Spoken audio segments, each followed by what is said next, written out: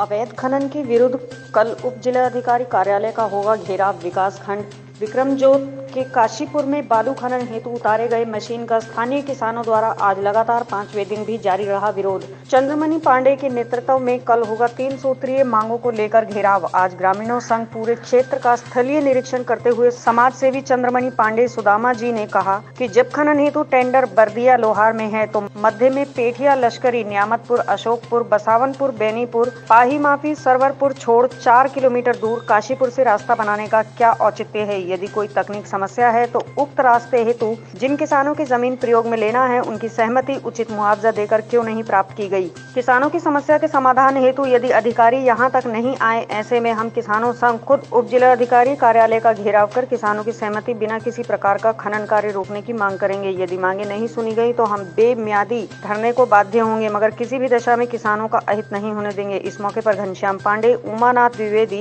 रामस जीवन तिवारी त्यागी पांडे, अम्बरीक मिश्र, विवेक पांडे चंद्र प्रकाश तिवारी, विजय प्रताप नारायण पांडे, उमेश नारायण पांडे, घनश्याम पांडे, राम नारायण पांडे, धर्मेंद्र पांडे, उत्कर्ष पांडे, अंकुर पांडे, ऋषभ पांडे सहित सैकड़ों ग्रामीण मौजूद रहे।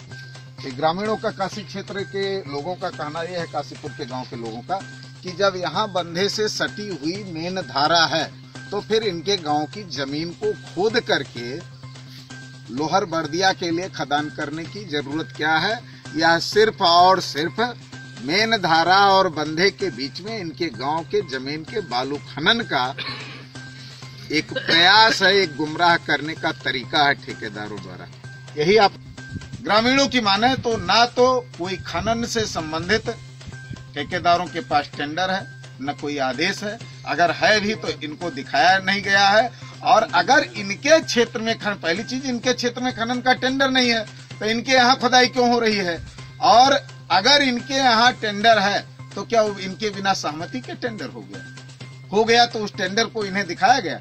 कहाँ वह सहमति पत्र है जिसके आधार पे काशीपुर क्षेत्र में खुदाई होनी चाहिए?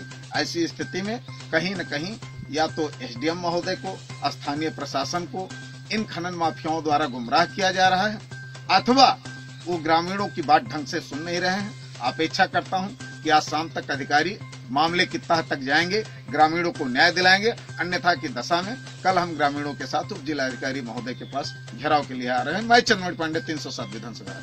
फिर वहाँ पर बानेपुर। के पास से खुदाई करें।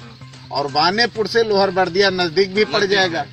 एक सवाल इनका ये भी खड़ा होता है कि जब काशीपुर गाँव से लोहर बर्दिया साढ़े चार किलोमीटर आगे है तो फिर साढ़े चार किलोमीटर दूर पहले से खुदाई की क्या ज़रूरत है? साढ़े चार किलोमीटर में इतनी बालू निकल जाएगी कि खनन माफियाओं का वारा न्यारा हो जाएगा और किसान बेचारा, बेचारे का बेचारा रह जाएगा। मैं चंद्रमोल पांडे, तीन सौ सात विधानसभा। सूचना